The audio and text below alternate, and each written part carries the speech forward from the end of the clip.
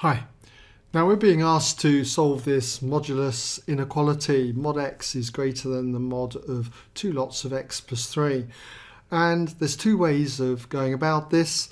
One is a graphical method and the other is, because these two sides are positive, is by squaring.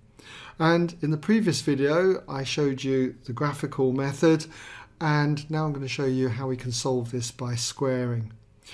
So just to recap then, because both sides are positive, because they've got the modulus sign round them, we can square both sides. So squaring mod x would just give us x squared. So we've therefore got x squared and it's going to be greater than and if we square this side we're going to have 2 squared which is 4 multiplied with x plus 3 all squared and so expanding the bracket on the right here we'll just keep the 4 there. Expanding x plus 3 all squared, that's going to be x squared. Then you're going to get 3x times another 3x, that's going to be 6x. And then you've got plus 3 squared, which is plus 9. And then expanding the bracket out further, we're going to have x squared is greater than 4x squared plus 24x plus 36. Now I want to uh, remove this x squared, so I'm going to subtract x squared from both sides. So we got 0 is greater than 4x squared minus the x squared, which is 3x squared. And then we got plus the 24x and then plus the 36. Now I notice that 3 is a common factor, so I could divide through by 3, giving me x squared plus 8x plus 12. And I'm going to turn it around as well, okay? So therefore we've got x squared plus 8x plus 12 is less than 0. Now this quadratic expression here factorizes, so let's factorize it couple of brackets.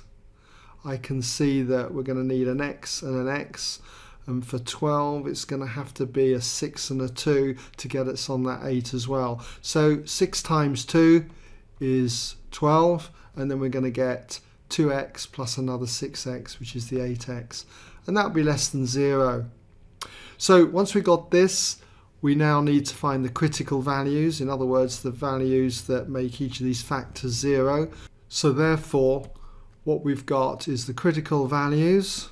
Just put that down. Critical values will be essentially when x plus 6 equals 0, that's going to lead to x equaling minus 6. Or when x plus 2 equals 0, that means x is going to be equal to minus 2. Now with these critical values, these will be the values that make this equal to zero. So what we do is we sketch a graph. So draw my axes up, x, y, okay. Should be familiar with this, solving quadratic inequalities. Put our critical values down, minus 6 here and minus 2.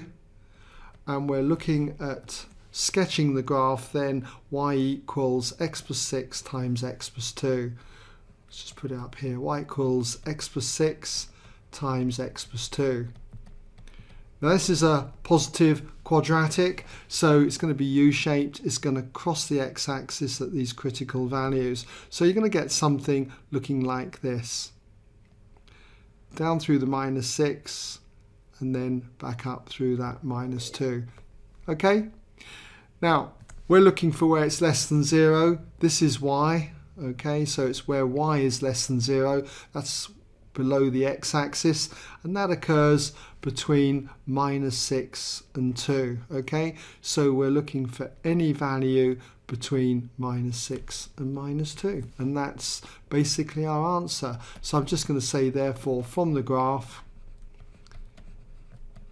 okay from the graph essentially we see that x must be any value between minus 6 and minus 2.